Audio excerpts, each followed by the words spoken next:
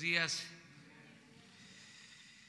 Vamos a eh, escuchar el planteamiento de Alejandro Encinas acerca de la liberación de un presunto implicado en la desaparición de los jóvenes de Ayotzinapa que eh, dejaron en libertad. Ayer que me preguntaron sobre este tema, dijimos que hoy se iba a informar. Entonces le damos la palabra a Alejandro. Con su autorización, señor presidente, muy buenos días tengan todas y todos ustedes. Como ya es del dominio público, el pasado 30 de agosto, el juez primero de distrito en procesos penales federales de Tamaulipas, el juez Samuel Ventura Ramos, a través de la secretaria de acuerdos de este juzgado, dictó una sentencia absolutoria en favor de Gilardo López Astudillo, conocido como el Gil, quien es reconocido que operaba como jefe de la Plaza de Guerreros Unidos en la ciudad de Iguala al momento de la desaparición de los 43 estudiantes de Ayotzinapa.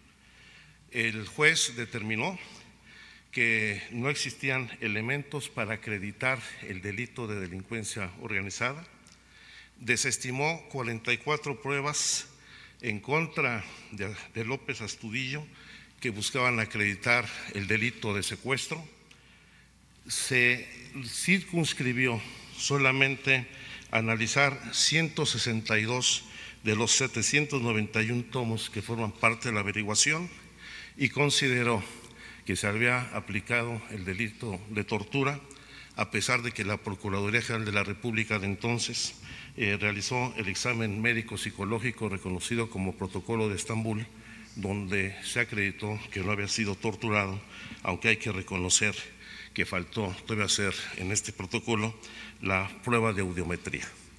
Este es un precedente muy grave, es una, es una sentencia absolutoria de uno de los principales perpetradores del delito de la desaparición forzada y lamentablemente no es el único caso, sino que además de que sentará precedente para que se puedan establecer sentencias absolutorias a los demás implicados, viene a fortalecer una tendencia que ya se había venido registrando con la libertad de otros detenidos en el caso de Ayotzinapa.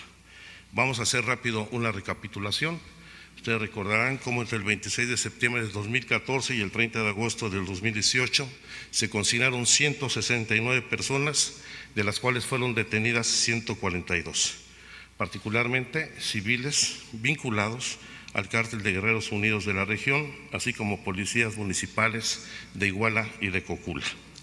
Los delitos fundamentales que se les fincaron entonces fue el de delincuencia organizada vinculada con delitos a la salud, los delitos previstos en la Ley Federal de Armas y Fuegos y el de la Ley de Secuestro.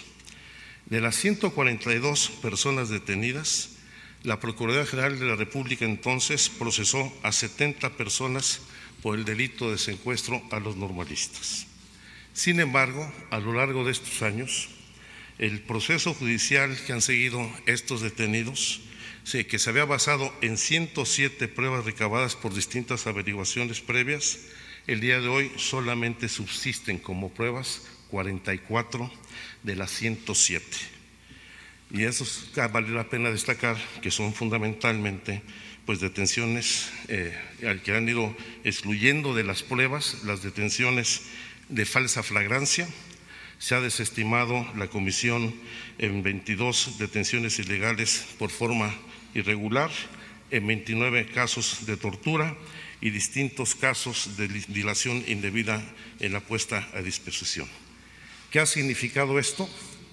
Que a la fecha han sido liberados 53 presuntos delincuentes de los 142 detenidos y ahora con el precedente de la libertad ya este, absolutoria de Gilardo López Astudillo, existen los elementos para que la autoridad judicial pueda liberar a otros 50 detenidos en este proceso.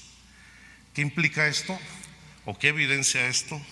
particularmente una indebida integración en la investigación por parte de las autoridades ministeriales basadas en irregularidades y graves violaciones a la ley. Hay que decirlo con toda claridad, la mal llamada verdad histórica se construyó con base en la simulación, en la fabricación de pruebas, en la tortura, en beneficio de los perpetradores y en contra del derecho de las víctimas.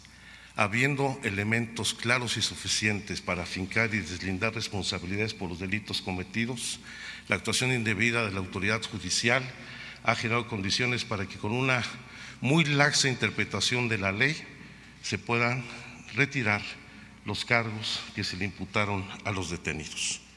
Y también esto implica una revisión profunda de los criterios judiciales que tienen que aplicarse. Y aquí debe tomarse en consideración que la aplicación de la justicia no puede reducirse solamente a la interpretación de la ley. Se trata de impartir justicia, no de interpretar la ley, y debe prevalecer siempre el interés superior del derecho de las víctimas por encima del derecho de los victimarios. Yo creo que son de los temas fundamentales que tenemos que definir y podemos hacer el día de hoy un exhorto a la Fiscalía General de la República para que reencauce la investigación, subsane las omisiones y permita una investigación diligente para poder deslindar las responsabilidades que se cometieron por parte de autoridades o civiles en esta desaparición. Y queremos anunciar que por instrucciones del presidente de la República iniciaremos ante la Fiscalía General de la República y el Consejo de la Judicatura Federal los recursos legales correspondientes para que se inicie la investigación de los funcionarios de la Fiscalía General de la República y de los jueces en el caso del Poder Judicial Federal para deslindar las responsabilidades en estos casos, donde en lugar de garantizar el derecho a la verdad y la justicia de las víctimas, se está generando un pacto que favorecerá el silencio, el silencio y la impunidad en la comisión de este delito.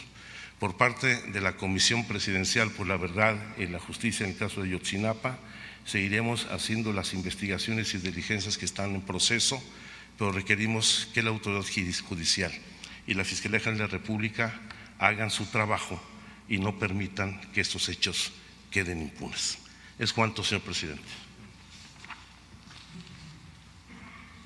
Bueno, sobre este tema, si tienen algo que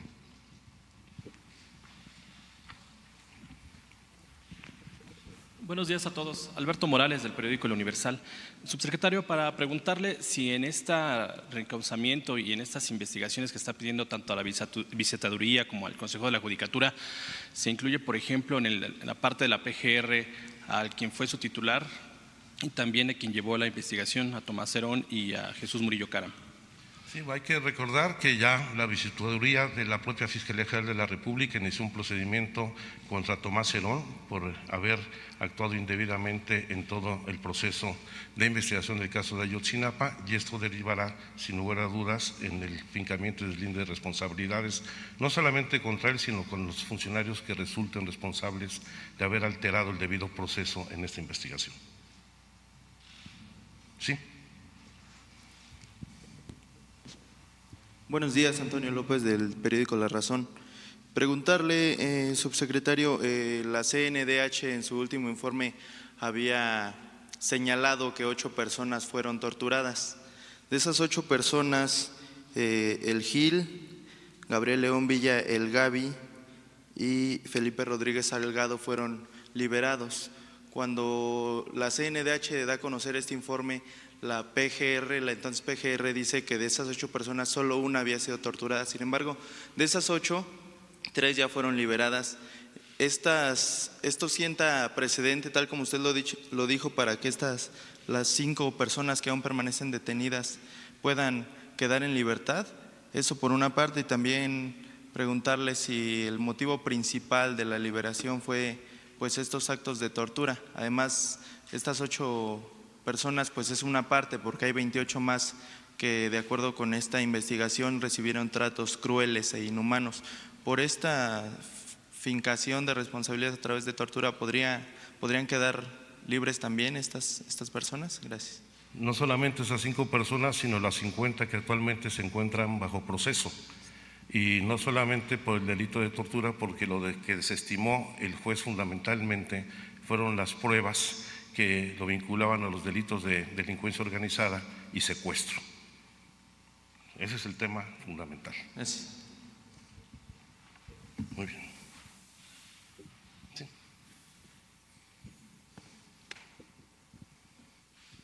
Gracias. Para consultar directamente si el fincamiento de responsabilidades va a alcanzar a Jesús Murillo Caram, por un lado, y por otro, si el riesgo de liberación de más involucrados en el caso Ayotzinapa incluye al exalcalde de Iguala Abarca.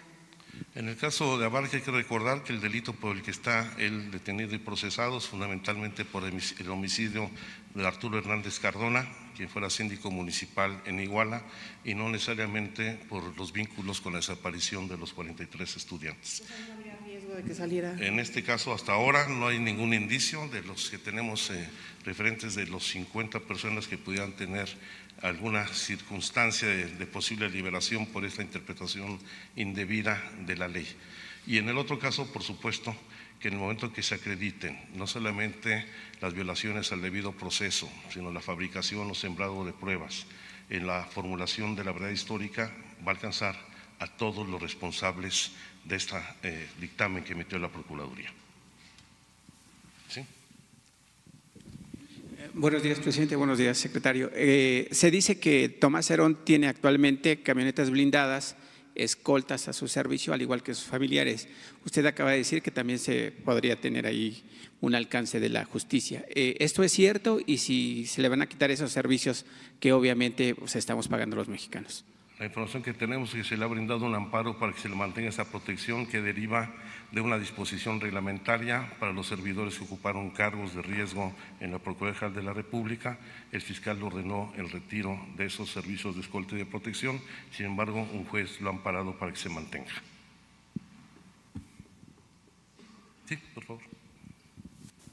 Gracias, buenos días. Eh, preguntarle, eh, subsecretario, hasta este momento, eh, ¿qué tanto se parece la verdad histórica que sostuvo Murillo Cara a lo que ustedes han indagado respecto de lo que pasó con los muchachos? ¿Dónde están? hay, hay, revelaciones importantes, entiendo que son investigaciones que pertenecen también a la Fiscalía, pero ¿hay hallazgos importantes que se alejan de esa verdad histórica, aunque no me dé el detalle? No hay ninguna identidad con la llamada este, verdad histórica. Los puntos de partida y de líneas de investigación son diametralmente distintos y la verdad histórica choca con la propia realidad. La realidad que estamos viviendo con esta impunidad que se está brindando a los victimarios. Se se, decía mucho en el pasado que habían participado eh, elementos militares en la desaparición de los muchachos. ¿Esto se cae por sí solo? Los elementos de las Fuerzas Armadas, desde el general secretario hasta los mandos en Iguala, han brindado toda la información que se les ha requerido al respecto. No solamente hemos tenido ya reuniones directas con el general secretario y el Estado Mayor de la Defensa Nacional, se ha visitado las instalaciones del 27 Batallón de Infantería de Iguala y se ha dado respuesta a todos los requerimientos de información que la Comisión ha planteado a las Fuerzas Armadas. Gracias.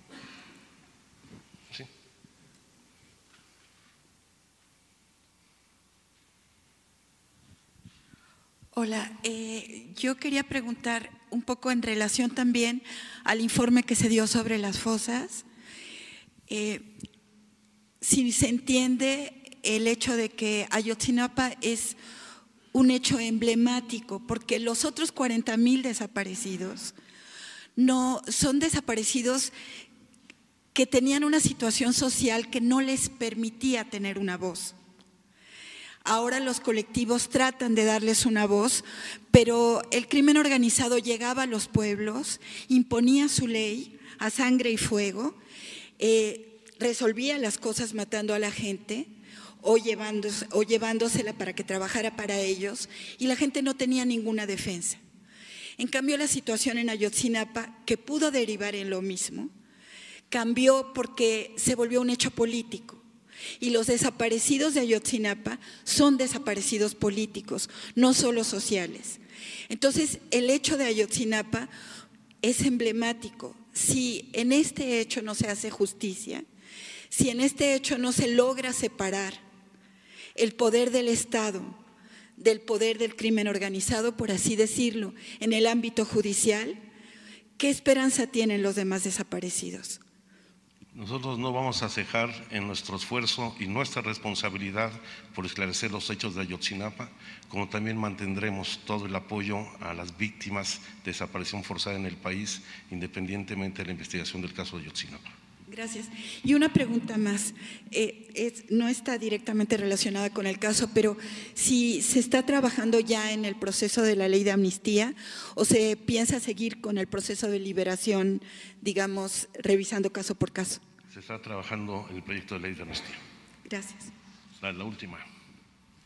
Eh, el informe del Alto Comisionado de Naciones Unidas habla de una doble injusticia en México y cuestiona los avances en las investigaciones y por su parte el diario alemán Frankfurter Allgemeine Zeitung dice que en México prevalece el orden establecido por Francisco Sagún Vaca. ¿Qué respondería ante ello, señor subsecretario? Pues prevalece fundamentalmente en, el ámbito de la impartición de justicia y ese es un hecho evidente. Aquí lo que estamos debatiendo hoy, si bien es el respeto pleno a los derechos humanos, es la prevalencia del interés superior de las víctimas de violaciones graves a derechos humanos por encima de los derechos de los victimarios. Y eso tiene que entenderlo el Poder Judicial, porque lo que tiene que hacer es impartir justicia, no malinterpretar discrecionalmente la ley. Entonces, ¿habría que recurrir a la judicatura, señor subsecretario, para condenar a esos malos jueces o ministros de la Corte? Es la instrucción del presidente de la República e iniciaremos los procesos de investigaciones correspondientes con jueces, ministerios públicos y los funcionarios responsables de la Fiscalía General de la República. Va a ser de inmediato.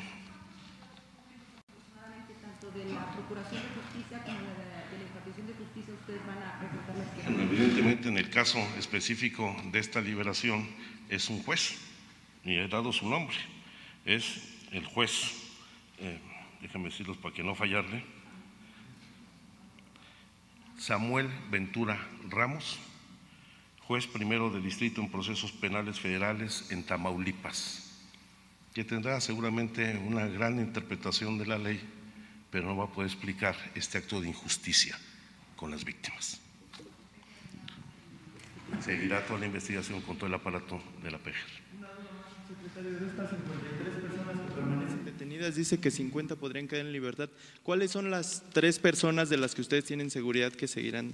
No, pues ahí está la lista, la hemos anexado. Toda la información aquí es pública y por supuesto eh, está en la presentación y al acceso de todo el público. Tenemos la relación puntual. Muchas gracias, señor presidente. Muy bien, ahora sí, en lo general.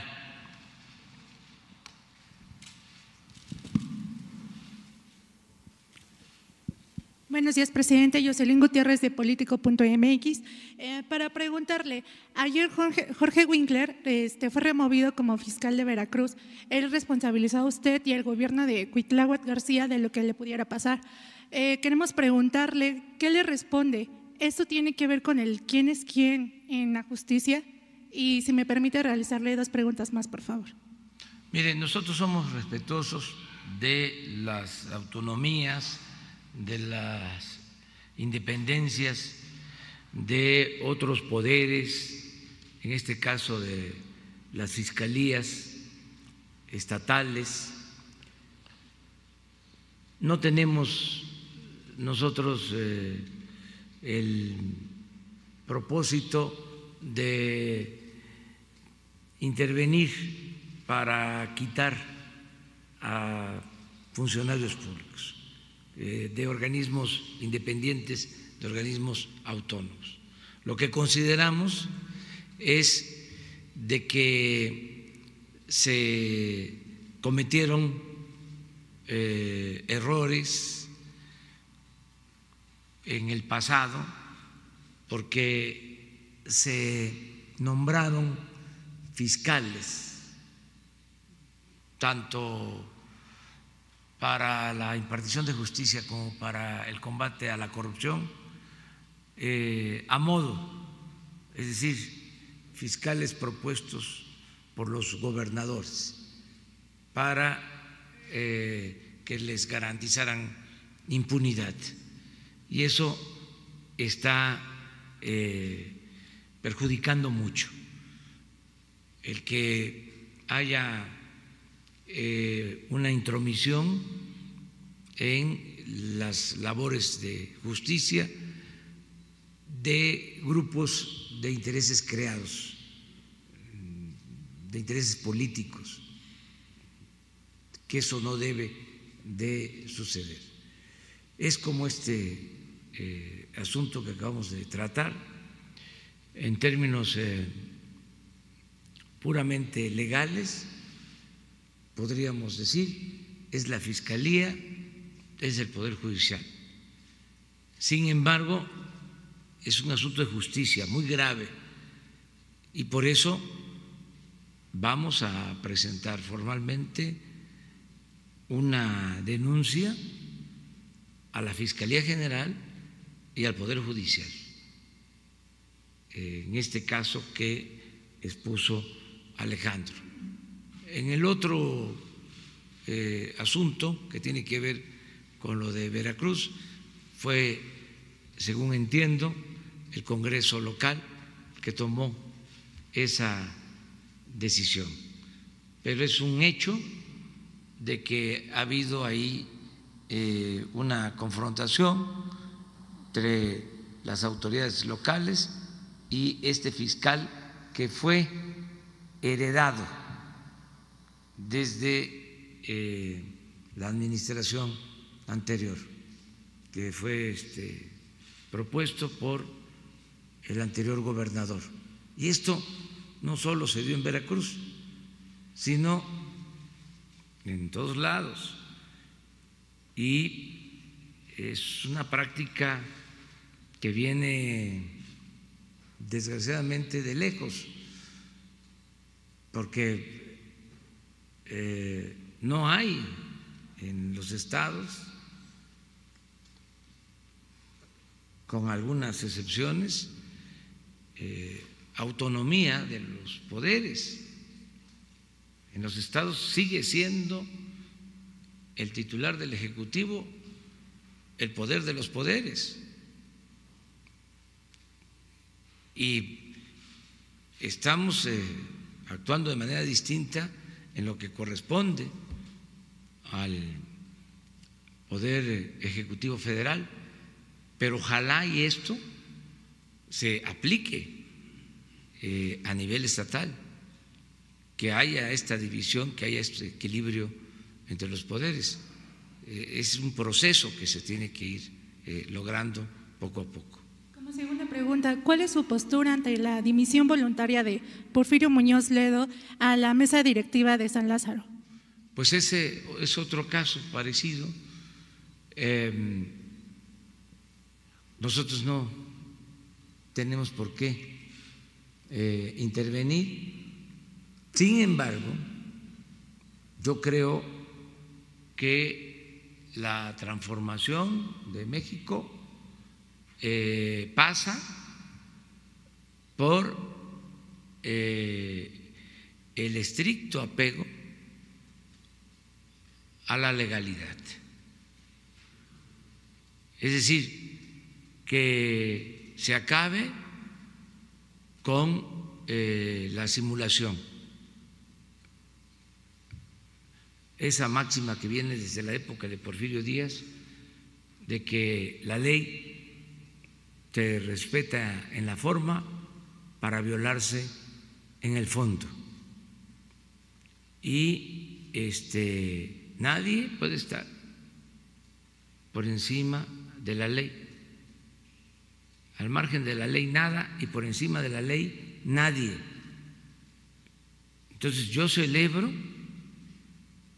aunque corresponde a otro poder, el que se haya resuelto respetar la ley en el caso del Poder Legislativo. Es decir, que no se haya modificado la ley orgánica en el Poder legislativo, porque eso no debe de permitirse, aunque ahí nosotros no tenemos facultad, sí podemos dar nuestro punto de vista. Entonces, eh, celebro mucho el que ya se haya resuelto eh, esa controversia y eh, no entrar en componendas de ningún tipo, aplicar lo que está en la Constitución y en las leyes.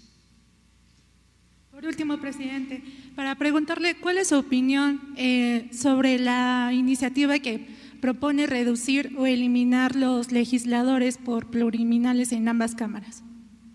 Pues eh, no lo veo mal, nada más que esa es una iniciativa que están presentando en el Poder Legislativo, pero yo creo que se deben de eh, revisar eh, todos los excesos que, que existen en el país.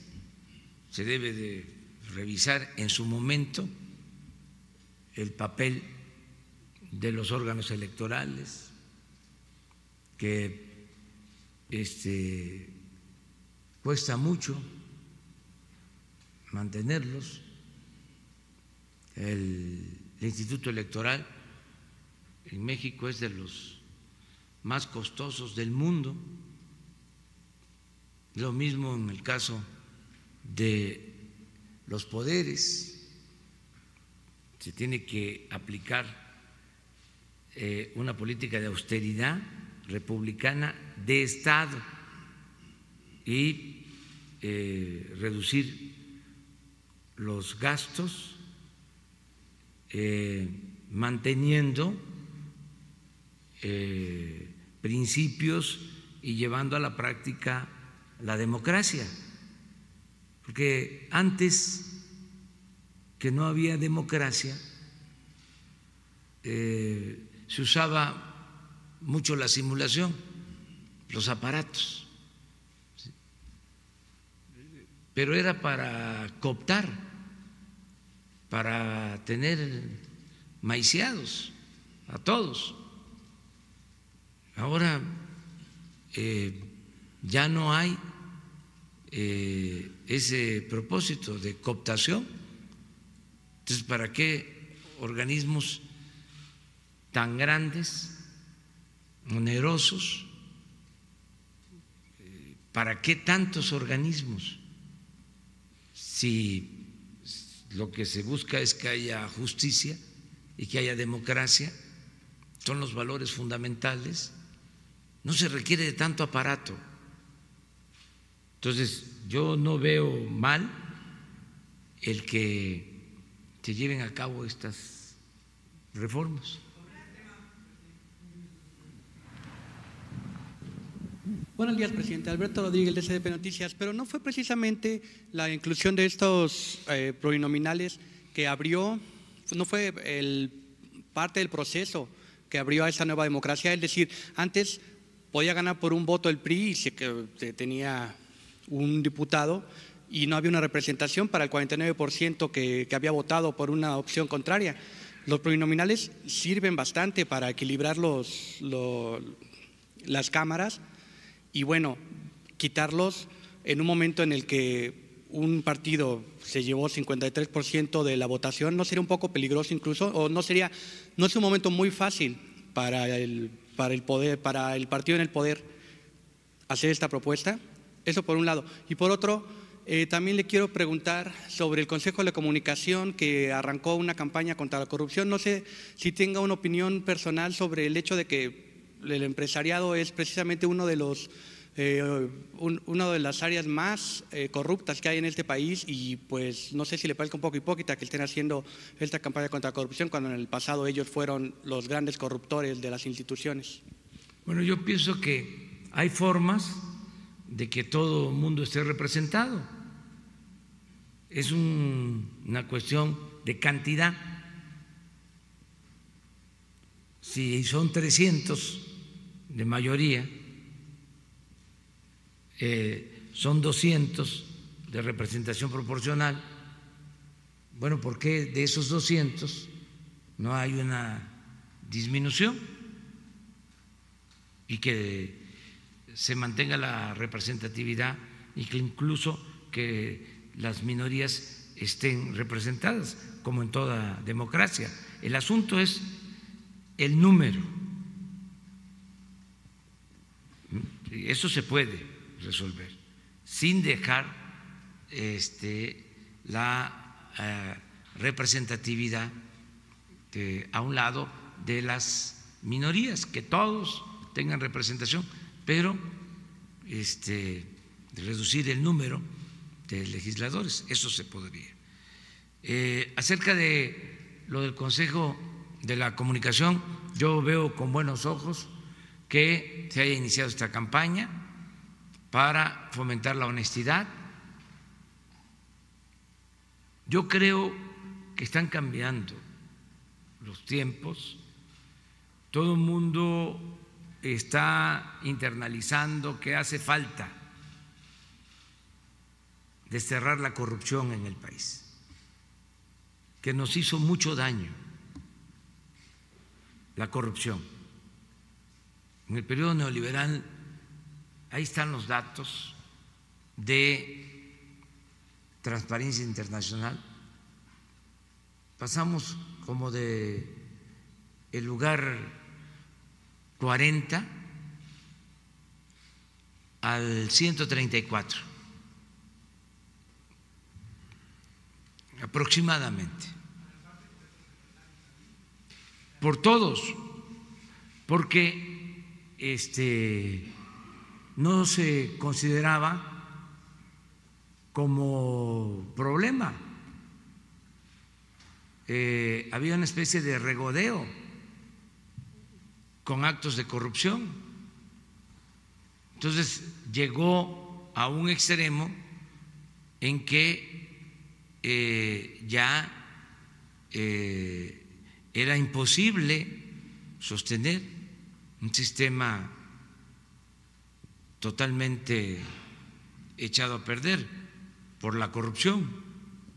Entonces, esto ha servido a que mucha gente tome conciencia de que tenemos que poner por delante la honestidad y por eso celebro mucho esa campaña, porque no era eh, un valor,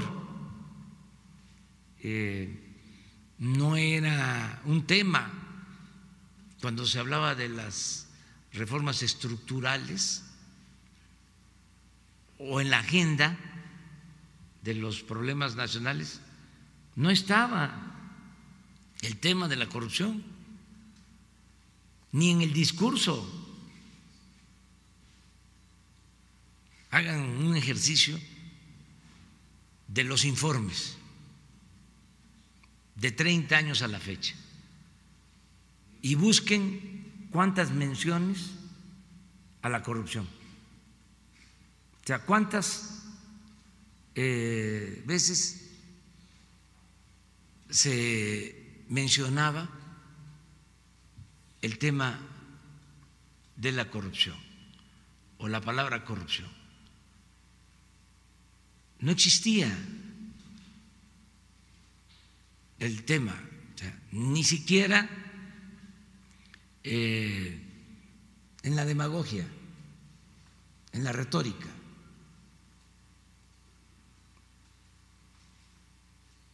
Entonces, ahora ya hay una conciencia del daño que eh, causó la corrupción al país, cuál era la imagen de México en el extranjero, violencia y corrupción. Entonces, por eso celebro que esta campaña se haya iniciado de parte de los integrantes del Consejo de la Comunicación.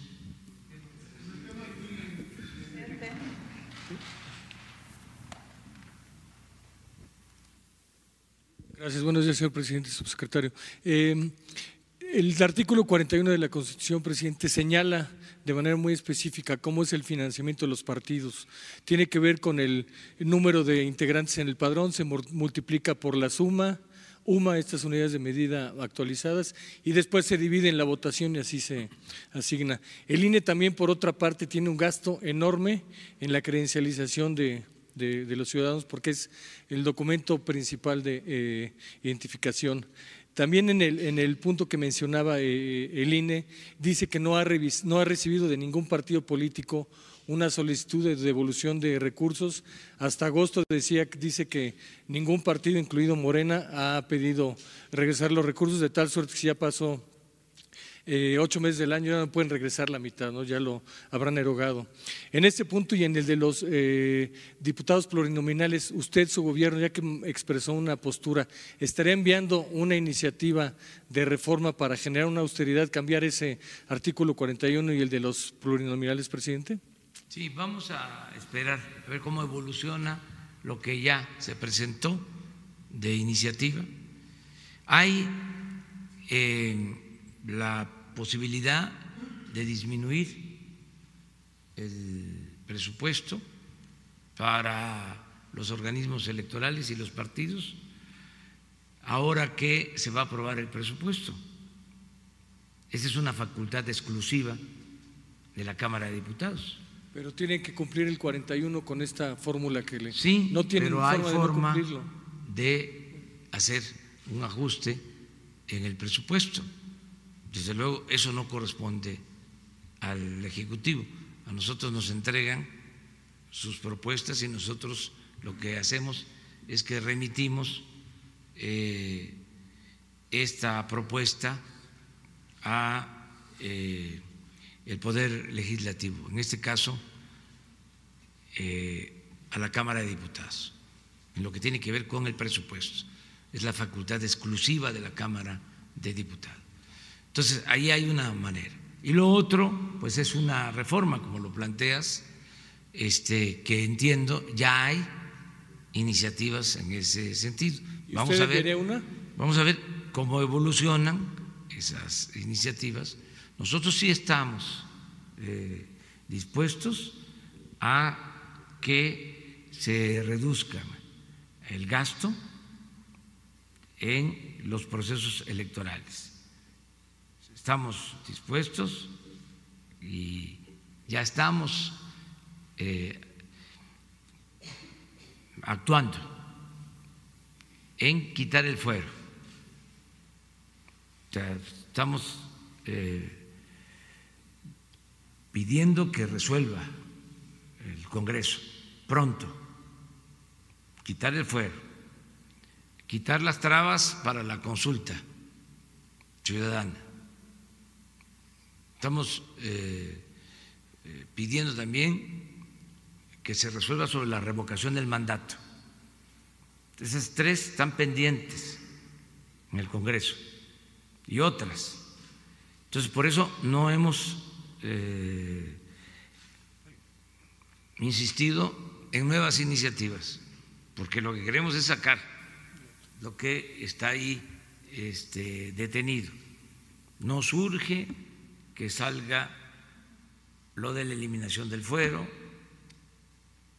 que se permita la revocación del mandato eh, y eh, que se quiten las trabas para llevar a cabo las consultas, eh, llevar a la práctica la democracia participativa.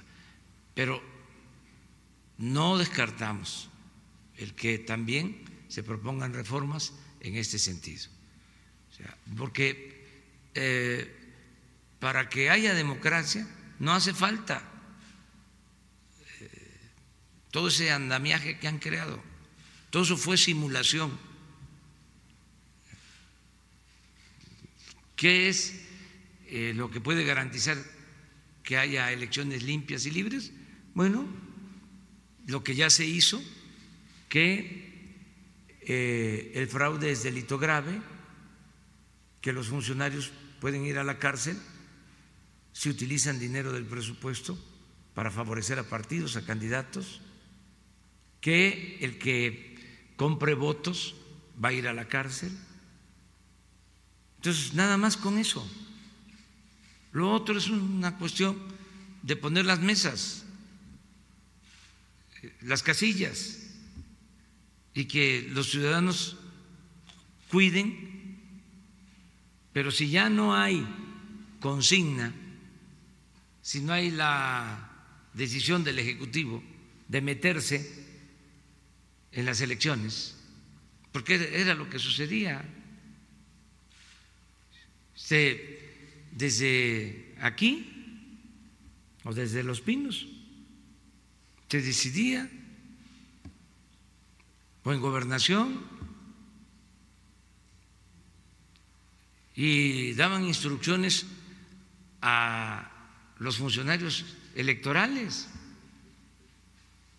A veces eh, la ley establecía de que tenían que llenar ciertos requisitos para poder ser candidatos y no los llenaban los requisitos porque había consigna de darles la candidatura o de quitarles candidaturas a quienes no eran de su agrado. Y cómo las autoridades electorales se prestaban a esto y se hacían de la vista gorda. ¿Y saben por qué? Entre otras cosas, por los 300 mil pesos mensuales de sueldo. Es hasta penoso recordarlo, pero cuando quisieron, creo que el año pasado, reducir el sueldo de los magistrados, se ampararon y este hicieron toda una protesta, porque así se mantenía el régimen corrupto, con sobornos, con la política de Porfirio Díaz, el maiceo, el reparto de maíz con gorgojo. Muy rápido, una segunda, presidente. Manifestó ahorita que no está de acuerdo en que se reformara la ley orgánica del Congreso de la Unión para eso. Lo entiendo como una postura de que no está usted de acuerdo con que se cambie una ley cuando ya incluso en un juego se pasó de la quinta entrada, si habláramos del béisbol, que ya es juego oficial. ¿Usted entonces, en general, en todos los casos, no estaría de acuerdo que se modificara la ley cuando ya el juego inició, terminó, no sé, por ejemplo, el caso de Baja California? Es que no se debe de este, eh, modificar la ley en función de intereses personales o de grupos. No se puede retorcer la ley, no se puede hacer la ley a la medida independientemente de dónde suceda. ¿Incluye Baja California? Todo. O sea, nosotros queremos que se lleve a la práctica el principio de los liberales del siglo XIX, que se resume en la frase, al margen de la ley, nada por encima de la ley nadie. Se tiene que acabar con la simulación. Tenemos que establecer un auténtico Estado de Derecho, no lo que eh, viene imponiéndose de tiempo atrás, desde hace siglos. Es un estado de chueco, no de derecho, un estado de cohecho, toda una simulación. Esto viene de la época de Porfirio Díaz. Y antes también, no olvidemos, en el México independiente, todo el siglo XIX, México fue país de dos hombres, Santana y Porfirio Díaz. Santana, once veces presidente de México, la primera mitad del siglo XIX, y Porfirio Díaz, 34 años. Lo único distinto fue la época de la Reforma y de la República restaurada. Ayer lo decía en el Fondo de Cultura Económica. No pudo la revolución llevar a cabo un cambio político para establecer una auténtica democracia. El fundador del fondo, don Daniel Cosío Villegas, decía, este, ya no está don Porfirio, pero quedó doña Porfiria. A pesar de que la revolución fue profunda, no alcanzó a arrancar de raíz el régimen antidemocrático. Se mantuvo prácticamente intacto el sistema político porfirista. Se trasladó porque no prosperó el ideal maderista de la democracia, que fue el único presidente que se procuró, se preocupó por el respeto a la voluntad eh, popular, a las leyes. Eh, presidente Madero le mandaba a decir a los gobernadores que respetaran a los jueces o le mandaban a pedir los gobernadores, como era en la época de Porfirio Díaz, de que les ayudara a quitar a un juez que les estorbaba y la respuesta de Madero era no, porque nosotros tenemos que ser respetuosos de la autonomía, de la independencia del Poder Judicial. Pero eso fue como un destello, ¿no? un cielo oscuro, algo luminoso en medio de la oscuridad. Y asesinan a Madero y se termina con el afán este, democrático y se establece el régimen antidemocrático y la simulación, eh, el maestro de la simulación política es Porfirio Díaz, porque no se dejaban de hacer elecciones. Siempre el respeto a la legalidad, nada más que este al mismo tiempo se violaba eh, la esencia, el espíritu de las leyes. Y eso se mantuvo hasta ahora. Entonces imagínense si nosotros, que estamos planteando una transformación, este, permitimos eso, o un partido que porque tiene mayoría puede aprovechar para modificar una ley en beneficio personal, en beneficio de grupo, en beneficio de eh, una facción, no, pues eso es un retroceso. No, yo celebro que esto se haya resuelto bien. Eh, yo no podía meterme, pero este, era una vergüenza. ¿Y espera que ocurra lo mismo en el caso de Baja California? Yo espero que se actúe igual en todos los casos, en todos los casos. Y además que este, se dé el ejemplo el buen ejemplo. No somos iguales.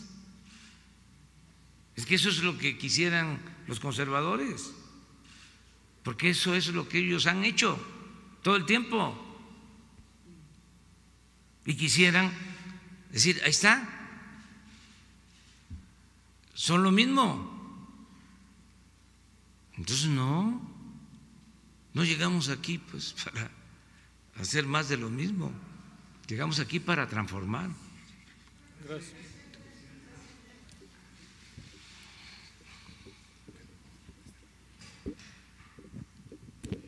Buenos días, buenos días, presidente. Dos preguntas. Eh, usted ha dicho que ya no se va a meter con el tema del sindicalismo porque debe de respetar las instituciones, autonomía e independencia. Sin embargo, hoy el sistema de transporte colectivo Metro cumple 50 años de su existencia, 4 de septiembre. Eh, afuera de Palacio Nacional, hoy en la mañana, llegaron varios trabajadores del sistema de transporte a presentar eh, datos que a mí me parecieron interesantes, que ahora se los voy a exponer. El sindicato está presidido por el señor em, Fernando Espino Arevalo, que entre el sistema de transporte colectivo Metro tiene incrustadas 119 familias en diferentes puestos de áreas de mando. Y además tienen permisos sindicales.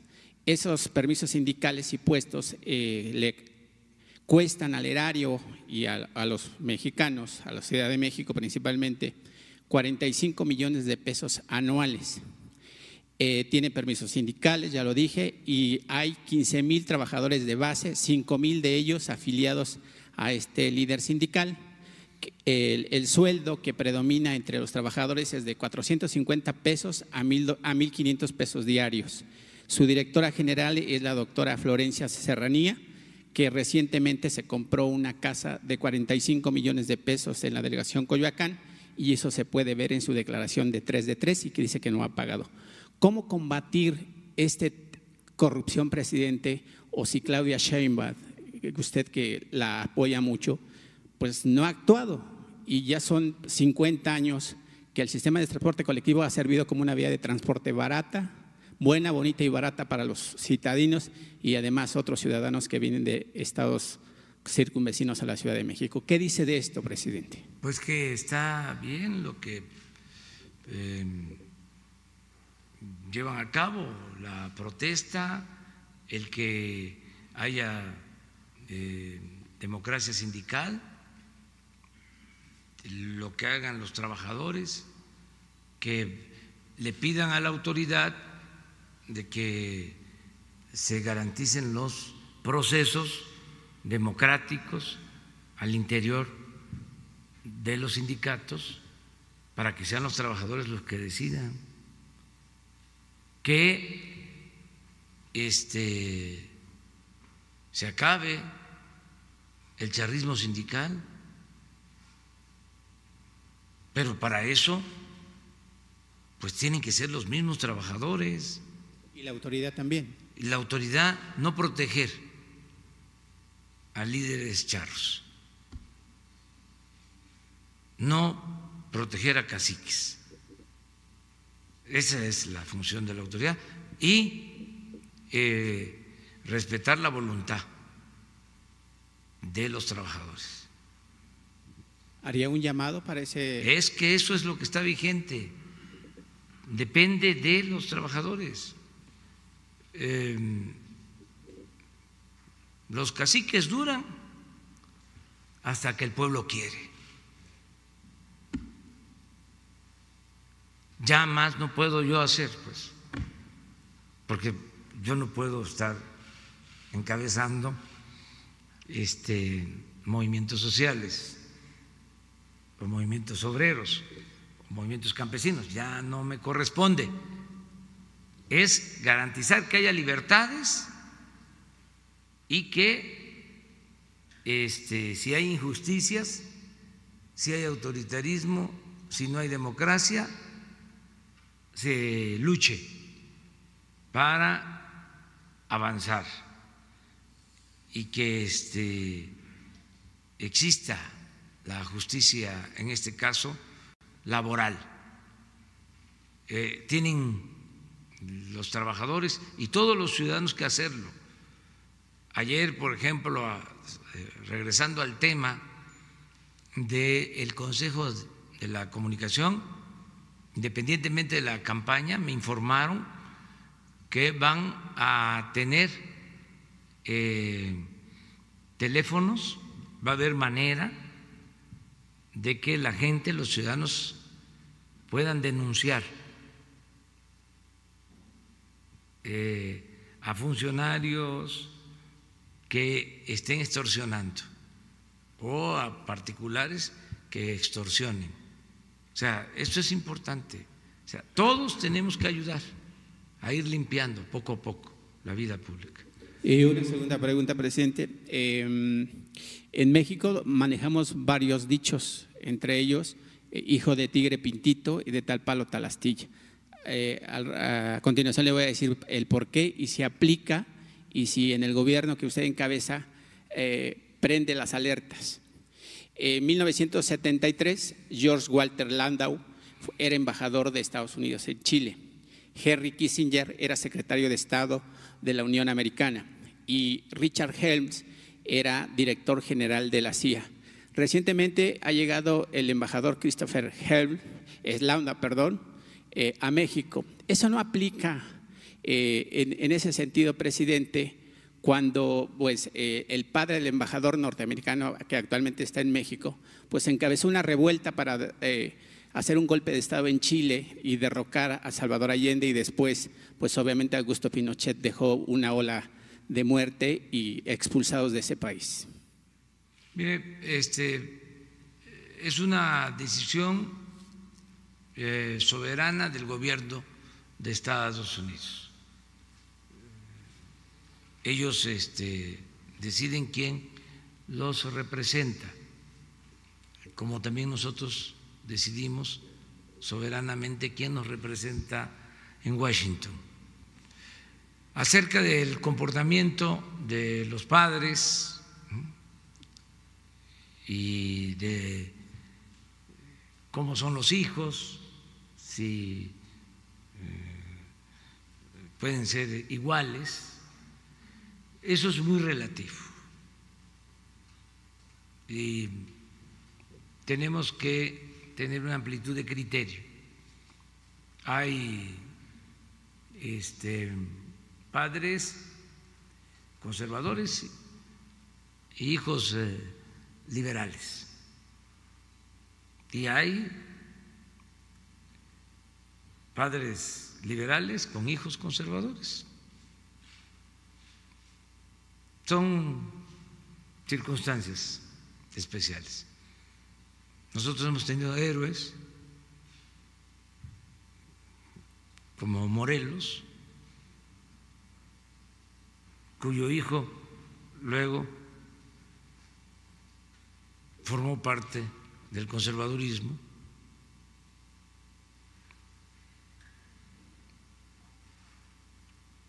Y fue de los que hizo gestiones para traer a Maximiliano. No meternos en eso. Es muy este, complicado, muy complejo. Yo lo sentía él respetuoso de México, le diría entusiasmado por eh, ayudar. Eh, ya había escuchado, me manifestó, que había em, eh, contado con información sobre lo que dije aquí en la mañanera, de que buscábamos que el embajador de Estados Unidos en México, de manera respetuosa, se pareciera más a Daniel, Joseph Daniel, que a Wilson, el embajador que tenía Estados Unidos cuando el asesinato de Madero, porque ese embajador eh, intervino en eh, el golpe de Estado contra Madero. Para mí, el peor embajador que ha tenido Estados Unidos en México en toda la historia. Y vaya que han habido embajadores de Estados Unidos entrometidos. Se me viene a la memoria Poinsén y otros que este, se metían más de la cuenta. Últimamente, eh, un embajador que eh, opinaba sobre el desempeño de las Fuerzas Armadas y se le permitía. Nosotros estábamos en la oposición y me tocó este pues hablar del tema porque eso no le corresponde a un embajador de otro país. Nosotros somos respetuosos del principio de no intervención y de autodeterminación de los pueblos. Y eso no este, es el papel de un diplomático. En el caso de, Daniel ayudó mucho en un momento difícil de conflicto para buscar un entendimiento entre el presidente Cárdenas y el presidente Roosevelt. Pero el actual embajador eh, actúa de manera respetuosa y eh, noté que tiene interés y diría entusiasmo para que se mantengan buenas relaciones entre México y Estados Unidos. Gracias, presidente. Dos casos específicos. Ayer en Grupo Fórmula hablaban con los familiares de algunos de algunas víctimas del bar en Coatzacoalcos, de este bar que fue quemado, y decían que no se les han acercado, pues nadie del gobierno estatal ni federal, a brindarles algún tipo de apoyo. En el caso de esta señora, pues se quedó a cargo de dos nietas. Su mamá era bailarina y murió ahí preguntarles si les van a brindar algún apoyo, eh, asistencia psicológica o quizá algún apoyo económico y a través de qué dependencia podría ser. Gracias. Por lo general siempre lo hacemos, siempre es la Subsecretaría de Derechos Humanos la que se hace cargo. Lo estamos haciendo en todos los casos. ¿Los buscarían? Sí. sí. Y por otro lado, preguntarle, hay un caso en Tamaulipas con gasolineros porque hay amenazas de parte de un cártel allá que no les permiten vender gasolina a Fuerzas Armadas. Preguntarles si ya están enterados eh, y, qué, qué, procede ahí. Resolvió, ya este, se está atendiendo. Hoy nos informaron sobre eso y se está atendiendo y está en vías de solución este asunto. Pero se va a actuar contra este grupo delictivo ya pueden vender gasolina? O es que eh, no se puede permitir que esas eh, amenazas se acepten. Eso se tiene que resolver. Ya se está viendo la manera de atenderlo. prestaciones que se vienen a vender a las Fuerzas Armadas, a policías y a militares? Es que se está resolviendo sin necesidad de sanciones. No va a haber ningún problema.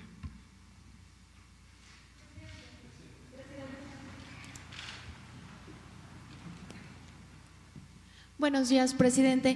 Ayer en Milenio eh, publicamos una respuesta que envía un cuestionario que le envió al empresario chino-mexicano Shen Yegon, en donde señala que en realidad había en su casa 275 eh, millones de dólares y no 205, como reportó el gobierno de Felipe Calderón. Dice que hubo un robo de 70 millones de dólares que no saben dónde quedaron, además de que había eh, joyas, obras de arte, un piano de colección e incluso eh, oro. Dice que no saben dónde quedó, acusa esto, también dice que pues bueno, él en Estados Unidos fue exonerado, sin embargo, hasta este momento no se ha podido eh, saber cuál es su responsabilidad, no se le ha fincado responsabilidad en este caso pide ayuda a su gobierno para que haya justicia. Saber qué información tiene sobre esto, presidente, porque también pide, eh, dice que incluso lo ha pedido desde hace años que se entreguen las cámaras de seguridad que tenía su casa para que se demuestre cómo fue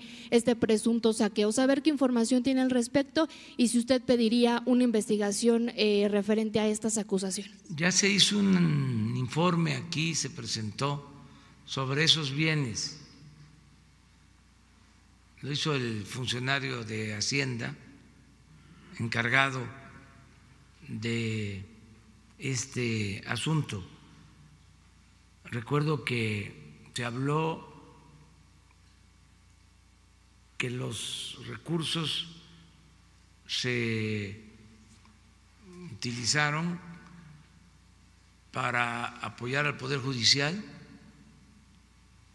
en aquel entonces a la Procuraduría, y una parte a la Secretaría de Salud. Así se repartieron esos fondos. Eh, y eh, debe eh, acudirse, en este caso, a la Fiscalía General si hay agravios, si hay injusticias. Esa es la instancia para eh, pedir que se reabra el caso, si legalmente es posible, en fin, que este, se acuda a la instancia correspondiente. Nosotros por lo que corresponde, estamos dispuestos a entregar toda la información, transparentarla. Ya se hizo y lo volveríamos a hacer. Sin embargo, el informe que se dio aquí, presidente, fue de los 205 millones de pesos que reportó la Fiscalía. Él dice que hay 70 perdidos. Ah, pues entonces que presente una denuncia. O sea, este, para que se haga la investigación y se aclare el asunto si es cierto o no es cierto y si es como él dice, pues hay que investigar dónde quedó el dinero. Pedir entonces que se, usted apoyaría que se investigue a los funcionarios que en ese momento estuvieron a cargo de ese operativo. Sí, pero tiene que presentar denuncia y tiene que proceder. Y yo lo que hago en estos casos es no entorpecer las investigaciones. Es decir, no detener ninguna investigación, que no haya línea, que no haya consigna. El gobierno no es cómplice, no es tapadera de nadie. Entonces, existen las eh, instancias correspondientes para la impartición de justicia, que se acuda a ellas y el compromiso nuestro es que no vamos a obstaculizar ninguna investigación y que se tenga confianza en las autoridades. Esto que eh, hoy se dio a conocer sobre la libertad de esta persona que eh, presuntamente es responsable de la desaparición de los jóvenes de Yotzinapa, es algo que debe ameritar una investigación de fondo para eh, avanzar en darle credibilidad a las instituciones, sobre todo las encargadas de impartir justicia. Yo estoy seguro que el fiscal general va a intervenir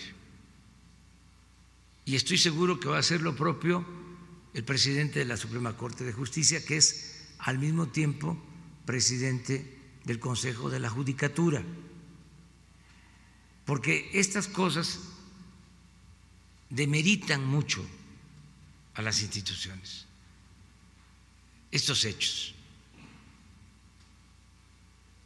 Entonces, eh, si se avanza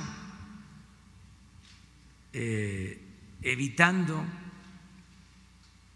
que haya una aplicación facciosa de las leyes, si se avanza eh, evitando la corrupción en el Poder Judicial, en los ministerios públicos, todo esto va a ayudar muchísimo. Entonces, no permitir eh, que estos casos se repitan y se repitan y perdamos hasta nuestra capacidad de asombro. Ya se empieza a ver como algo normal. Ahí sí ofrezco disculpas por anticipado, porque cada vez que haya un hecho de estos, lo vamos a tratar aquí. O sea, no nos vamos a quedar callados. No es que este se lleva a cabo un asunto, salen algunas notas en el periódico y este se olvida y vuelve lo mismo. Yo, con todo respeto, creo que es el momento de emprender una reforma a fondo, tanto en la Fiscalía como en el Poder Judicial. Y le tengo confianza a los titulares lo que pasa que son instituciones que eh, se han venido echando a perder porque había eh, impunidad, influyentismo, amiguismo, nepotismo, corrupción. La Procuraduría era una cosa tremenda. Entonces, ahora Alejandro Gers es un agente con eh, integridad. Entonces me da confianza, eh, nada más que tiene que meterse a limpiar. Y lo mismo eh, el presidente de la Suprema Corte de Justicia, que es una gente también íntegra. Eh, pero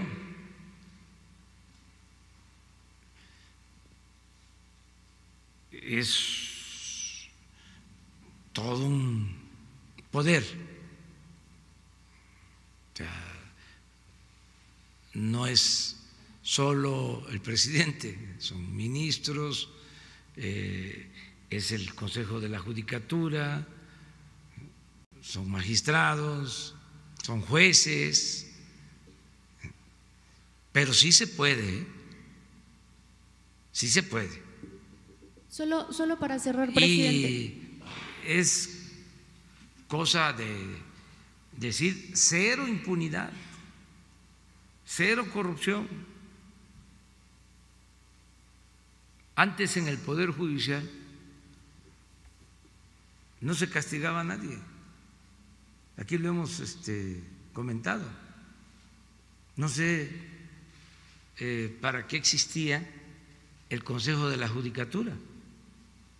Estaba ahí de florero, de adorno.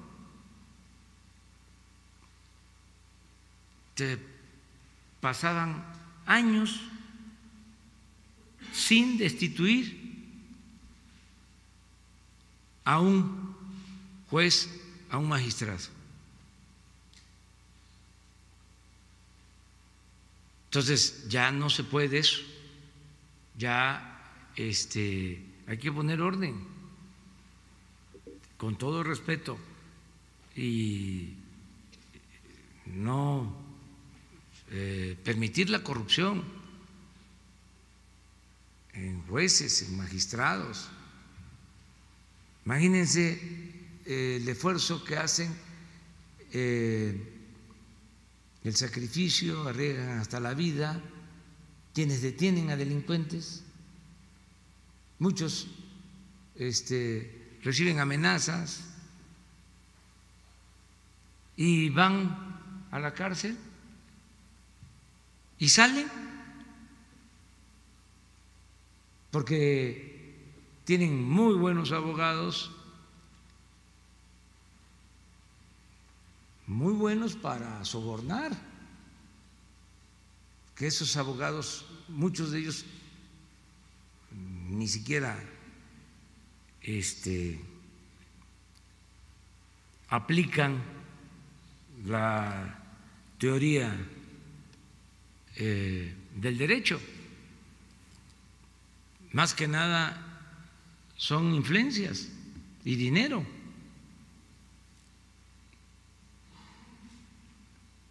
Entonces, liberan a presuntos delincuentes.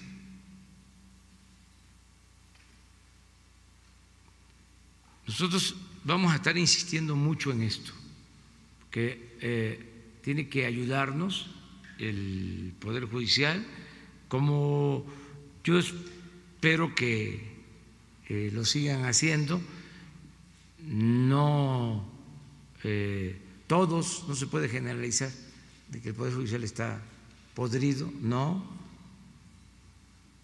ni siquiera el caso de la Procuraduría, pero sí este, es como lo que nosotros tenemos acá de aduanas,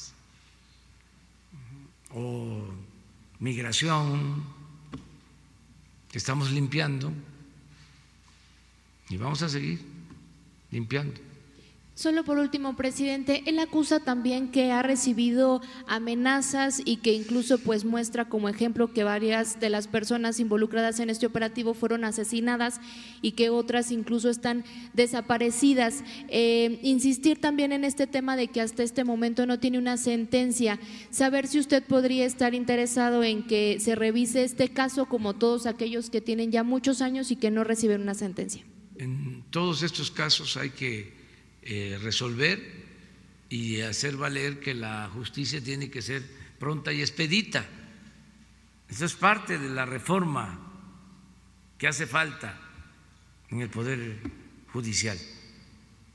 No es posible que lleven años sin una sentencia.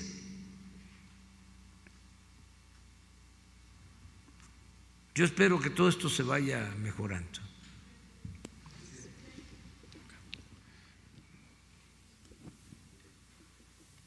Buenos, buenos días, señor presidente. Eh, Carlos Pozos de la revista Petróleo y Energía.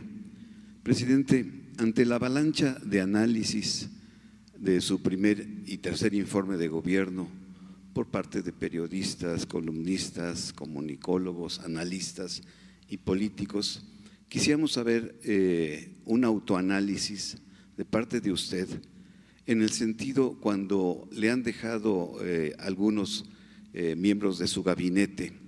La pregunta con todo respeto es, ¿el ganso ha perdido alguna pluma en estos nueve meses de gobierno? No, no porque este, yo digo a los integrantes del gabinete y a todo el pueblo de México que me canso ganso y ellos no se hacen patos me están ayudando todos. Eh, me está ah, ayudando el pueblo principalmente. está ayudando mucho la gente con su apoyo, con su respaldo. Por ejemplo, eh, ¿cómo me apoya? De que convocan a una manifestación en contra del presidente y no asisten, pues me ayudan. ¿Cómo me ayudan? También. Eh, hay Em, una campaña de calumnias en redes sociales, en las benditas redes sociales, que aunque se usen para eso, seguirán siendo benditas, porque eh, de inmediato hay respuesta, me ayudan mucho. Además, con argumentos, no son insultos, sino con argumentos, que eso es lo que hay que ir procurando también. Menos eh, confrontación y más argumentación en la polémica, en el debate. Entonces me ayudan muchísimo. Me ayudan eh, denunciando eh, injusticias. Por ejemplo, voy a los hospitales a visita y se me acercan y me dicen que no le engañen, ¿eh? este, vinieron a pintar el hospital porque sabían que iba usted a venir. Y sí, llego, no en todos los casos tampoco, pero en algunos casos sí todavía está el olor a pintura. Entonces, me ayudan mucho, la gente me apoya eh, y me ayudan los servidores públicos. Entonces, vamos bien. Eh, quisiéramos eh, ir más a prisa, tenemos temas pendientes que debemos de resolver. El principal es el de conseguir la paz. En eso estoy metido, de cuerpo y alma, en que haya paz y que haya tranquilidad. Ciudadano presidente de México, el viernes de la semana pasada usted dijo que debemos tomar conciencia ecológica y cuidar a los animales. El 28 de noviembre de 1867, el presidente Juárez emitió un decreto para cancelar las corridas de toros en México. Usted ha planteado públicamente poner fin a las corridas de toros. En el libro de textos de primaria no existe mención alguna al maltrato animal o a la crueldad hacia los animales. ¿Qué medidas adoptará su gobierno para responder a esta demanda de poner fin a las corridas de toros en México? Bueno, para empezar, se toma nota y se le informa al secretario de Educación sobre el contemplar lo del maltrato a los animales, este, como parte del libro o de los libros de texto. Eso se ve. Lo otro, pues eh, tendría que eh, hacerse una especie de consulta para tener la opinión de todos. Son temas eh, polémicos. Por eso creo yo que hace falta la reforma al artículo 35 de la Constitución para que el ciudadano tenga esa posibilidad de decir, yo necesito que se consulte sobre este tema y que la consulta sea vinculatoria, que no sea nada más un asunto de la autoridad, sino que en esos temas se le pregunte a los ciudadanos su opinión y que se informe bien y que haya eh, polémica, a favor, en contra, eh, que haya debate en los medios. Eso es la democracia. Y luego, ya que se conoció bien sobre el tema, que todo el mundo se informó, a votar y a decidir. Entonces, este, por eso lo de la consulta como otros eh, métodos de la democracia, eh, lo de la revocación del mandato, el referéndum, el plebiscito, avanzar hacia la democracia participativa. Nosotros no vamos a quitar el dedo del renglón sobre esto.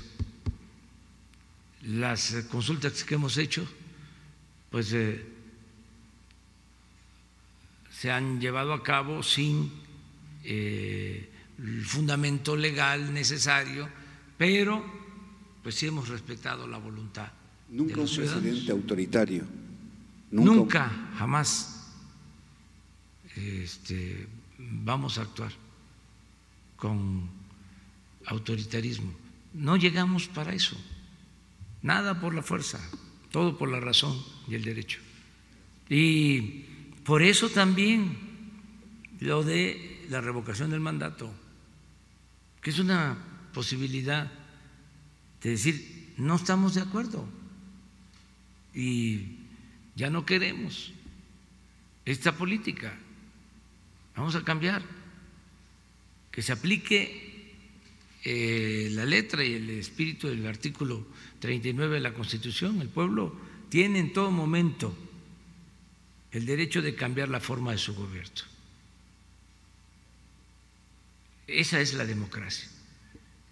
Entonces, por lo general, ese artículo o ese principio constitucional no se lleva a la práctica.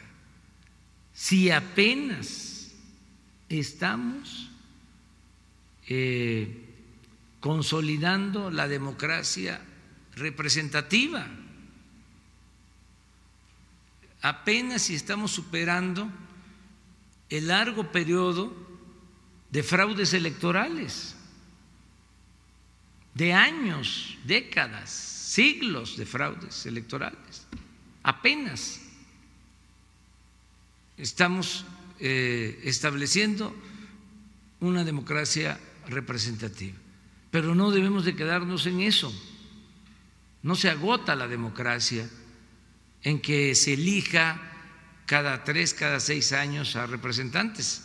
No, el ciudadano tiene que estar participando constantemente en todas las decisiones. Eso es lo que fortalece al gobierno. Imagínense esto de las corridas de toro. Si yo tomo una decisión, pues este se vería como un acto autoritario. Eh, pero si surge de la consulta y el mandato de la mayoría, podría yo decir, no es conmigo, es con la democracia, es con la ley. Entonces la autoridad no se debilita, se fortalece, la democracia fortalece a la autoridad. Mandar obedeciendo, eso es. Entonces sí es importante el que se ajusten las leyes. Cuando hicieron la reforma al 35, porque está establecido lo de la consulta, le pusieron tantos candados como para que no se aplicara nunca. Y no se me va a olvidar de que nosotros acudimos eh, a ese derecho constitucional cuando la reforma energética y se juntaron más de tres millones de firmas y se pusieron de acuerdo los del Ejecutivo, Legislativo y el Judicial. Y nos hicieron eh, hacer todo el trámite. Y luego la conclusión del Poder Judicial de que no procedía, porque no se podía hacer ninguna consulta que implicara afectar los ingresos del gobierno.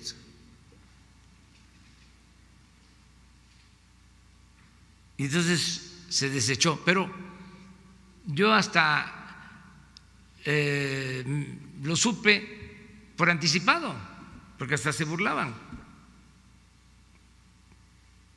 Este, llevé una carta en ese entonces al Poder Judicial.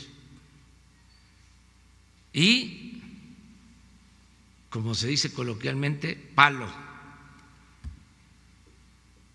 Entonces, ¿para qué esa faramaya? ¿Para qué esas leyes que no se van a poder llevar a la práctica? Pura simulación. Entonces, hay que quitar todos esos obstáculos, todos esos candados al 35 constitucional y que los ciudadanos puedan ejercer su derecho. La democracia es el pueblo que tiene las riendas del poder en sus manos. Entonces, sí hace falta este, esta reforma. Muy bien, muchas gracias.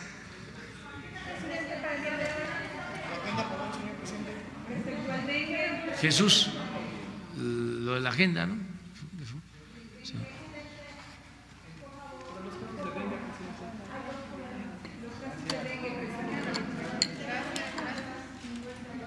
¿De qué? Hay dos problemas en Sinaloa.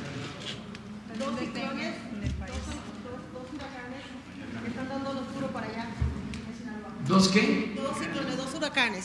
Dos tormentas que se convirtieron en huracanes. Sí, estamos viendo. Y, y, estamos viviendo como lo que significa los mochis en los mochis, Sinaloa significa tortugas en el agua. Ya parecemos otras tortugas.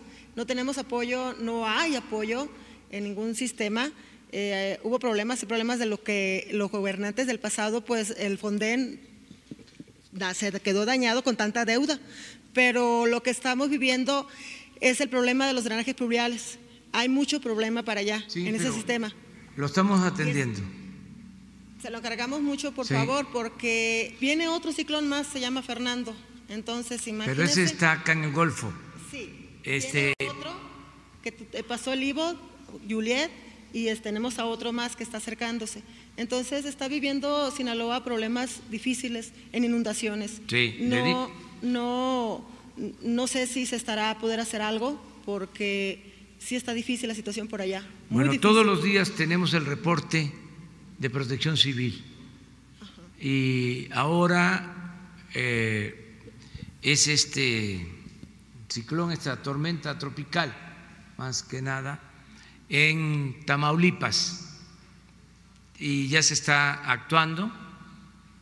Eh, es eh, una tormenta que se espera entre hoy por la tarde, eh, eh, va a ser lluvias en la, municipios como Soto La Marina, en Tamaulipas, eso es lo que hoy nos informaron. Tampico hacia Matamoros, esa la costa. Yo voy a estar, por cierto, allá el domingo voy a Soto la Marina eh, y vamos a estar pendientes. Eso es lo que tenemos. Todos los días, en la mañana, también para que tengan ese informe, recibimos el reporte de protección civil de todo lo que sucede en el país. Entonces, por eso eh, decirles que eh, solo tenemos como alerta eh, este, este huracán, eh, que es eh, una tormenta tropical. se llama Fernan. Eh, es lo que tenemos. Lamentamos mucho lo de la afectación a Bahamas. Es así, un huracán que afectó mucho. expresamos nuestra solidaridad, que sí perdieron la vida algunas personas y se produjeron daños que se quedó ahí el huracán estacionado en la zona este más pobre ahí se quedó este pero bueno ya eh, afortunadamente no entró con fuerza a las costas de Estados Unidos. Y eso es la información que tenemos y solo eh, por el lado nuestro es una información que se está difundiendo de protección, pero ni siquiera se está planteando desalojo, se tienen preparados albergues para Tamaulipas, Veracruz, San Luis Potosí y Nuevo León, básicamente, por esto. Se ha reportado que están aumentando en más de 300% el caso del dengue y también se tiene un reporte de que no se usaron los recursos para comprar los insecticidas y solamente los compraron seis meses después. No hay esa información, no tenemos ese dato de lo del dengue, del incremento del dengue, no. Y este, lo de las medicinas, eh, hay que tener mucho cuidado. La verdad, no pensé que tuviesen este, tantas influencias los que vendían las medicinas. ¿eh? O sea, eh, dicen que lo que no suena lógico, suena metálico. Este porque están eh, tratando de crear situaciones que no corresponden a la realidad. Sí, es que en general, pues si se robaban el dinero de las medicinas, ¿cómo no se van a robar el dinero de los insecticidas? ¿Quién sabe? Hay que, hay que analizarlo. Es que este, era mucho el bandidaje oficial. Saqueaban. Aquí en Palacio, mañana les voy a informar de una compra que dejaron de cepillos, navajas de rasurar. Mañana se los voy a mostrar. De miles, millones para rasurarse. Y papel de baño y este eh, ¿cómo se llama? para la limpia, este cloro, pero en exceso. O sea, vamos a terminar los seis años y no vamos a comprar. O sea, y así todo. Entonces, este, ¿cómo que por el dengue es porque no se compraron este, los insecticidas? No, hay que verlo con más calma eso. Puede ser, no lo descarto, pero este, lo vamos a investigar lo que pasa es que están este, muy molestos. Es que vendían de todo y en cantidades eh, exorbitantes. Ahorita se me vino a la mente esto de la compra de aquí del palacio. Vamos a dar a conocer Este, ahorita se ponen nerviosos los que están administrando ahora, porque ya lo dije, y ahora a ver a buscar los papeles. Este, pero eh, en general, este, eh, cuando fui jefe de gobierno, eh, una de las instrucciones fue, a ver, antes de comprar nada, revisemos los almacenes. Y se encontraron muchísimas cosas los almacenes. Y se ahorra. Había la práctica y tenemos eso, eso que este, evitarlo, lo de las compras de pánico por subejercicio, porque en la mentalidad del administrador público es tener presupuesto. O sea, para ser importante se necesita tener presupuesto. Entonces,